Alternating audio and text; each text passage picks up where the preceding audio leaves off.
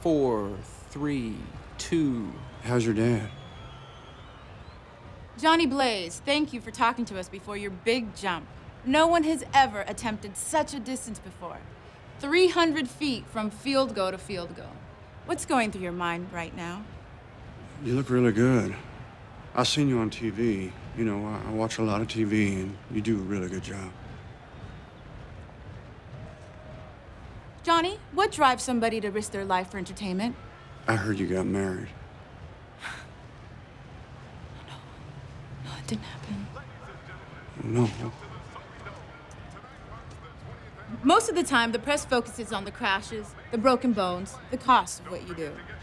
Are there any other costs? Uh.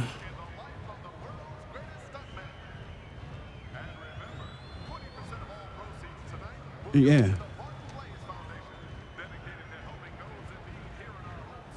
Okay, well, thank you for this revealing peek into the life of Johnny Blaze.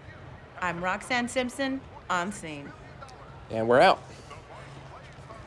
You're gonna stay for the jump, right? Oh, you know, we gotta get back. Plus, I never liked watching you jump.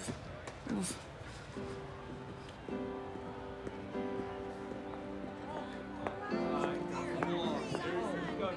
Roxanne?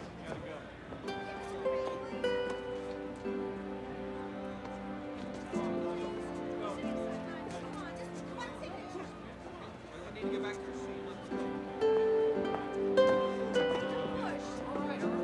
gonna go out on a limb and say you two had some kind of history. That was it, Mac. The sign. The sign.